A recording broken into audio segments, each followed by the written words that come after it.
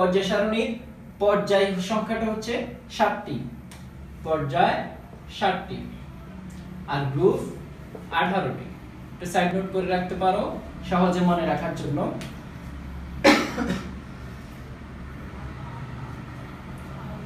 এবার আমরা যেহেতু এখানে যে সমস্যাটা ছিল মনে যে প্রশ্নটা তোমাদের থাকার কথা, সেটা এখানে আমরা সমাধান করে দিয়েছি। এবার আমরা সহজেই এই যে খালি ঘরগুলো দেখতে পাচ্ছ, এখানে প্রত্যেকটাতে একটি করে মোল আছে। আমরা এটা আর উল্লেখ করছি না। তো আমরা এই হিসেবের দিকে একটু যাচ্ছি।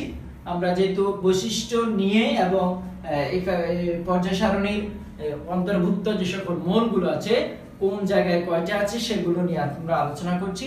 তো এগুলো বৈশিষ্ট্যটাই এমন।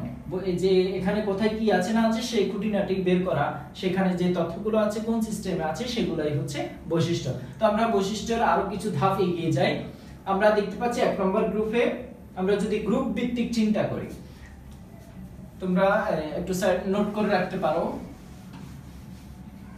আমরা যদি গ্রুপ চিন্তা করি, এক নং গ্রুপে মোল আছে আমাদের সাতটা। দুই নং গ্রুপে মোল আছে, এই যে দুই নং গ্রুপ এখান থেকে শুরু। দুই নম্বর গ্রুপটা এখান থেকে শুরু, অর্থাৎ দুই নম্বর পর্যায় থেকে শুরু। তাহলে সেখানে আমাদের আছে মোল ছয়টা। আমরা সেখানে আরেকটু সহজভাবে যদি আমরা দেখি, এক নং গ্রুপ এবং আঠারো নং গ্রুপ এই দুইটা গ্রুপে আমরা মোল দেখতে পাচ্ছি, কয়টা করে? সাতটি করে। এখানে যদি আমরা দেখি, এক, দুই, তিন, চার, পাঁচ, ছয়, সাত।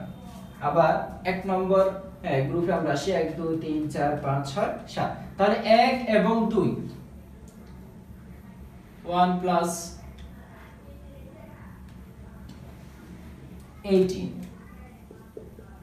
গ্রুপ নং এক এবং আঠারো নম্বর গ্রুপে ষাটটি করে।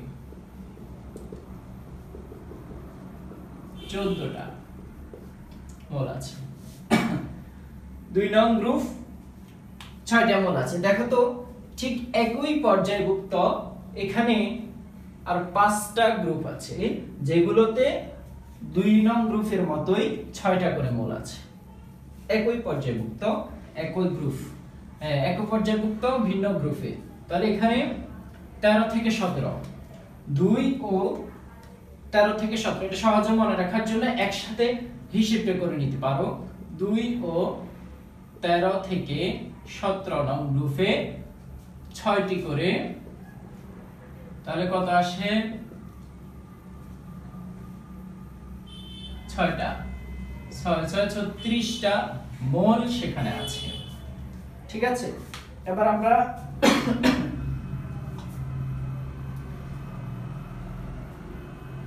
তিন নং গ্রুপে আসি। যত সমস্যা এখানে, তিন নং গ্রুপে ছয় এবং সাত নং পর্যায়ভুক্ত পনেরোটি করে মোল অতিরিক্ত আছে। তিন নং গ্রুপে আরও দুইটা মোল কিন্তু আমরা দেখতে পাচ্ছি, ইট্রিয়াম এবং স্ক্যান্ডিয়াম। তো এই দুইটা মোল সহ তাহলে এখানে পনেরো দুগুণে ত্রিশটা আর এখানে দুইটা কটা হয়েছে? বত্রিশটা। তাহলে তিন নং গ্রুপে মোল হচ্ছে বত্রিশটা। এবার আমরা একটা লেভেল দেখতে পাচ্ছি। তিন নং গ্রুপের পূর্বেরগুলো আমাদের হিসেব কষা শেষ থার্টিন থেকে এইটিন পর্যন্ত সেগুলো শেষ। এবার আমরা যদি দেখি, চার থেকে বারো পর্যন্ত, চার থেকে বারো পর্যন্ত। এখানে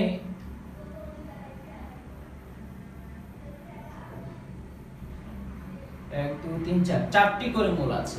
প্রতি আমরা একটু লক্ষ্য করব। চার থেকে বারো নং গ্রুপ পর্যন্ত, যেখানে আমরা যদি এখানে মূলগুলো উল্লেখ নাই বা দেখা যাচ্ছে না, কিন্তু প্রতিটা ঘরে একটা করে মূল আছে। তো এখানে চার থেকে বারো নং গ্রুপ পর্যন্ত, প্রতিটাতে একই সারিভুক্ত, একই গ্রুপ গ্রুপভুক্ত একই সারিভুক্ত মোল আছে। আমরা চার নং গ্রুপে যতগুলো মোল আছে ঠিক বারো নং গ্রুপে ততগুলো মোল আছে। তো আমরা হিসেব করলে দেখলাম যে চার থেকে বারো পর্যন্ত চারটি করে। চারটি করে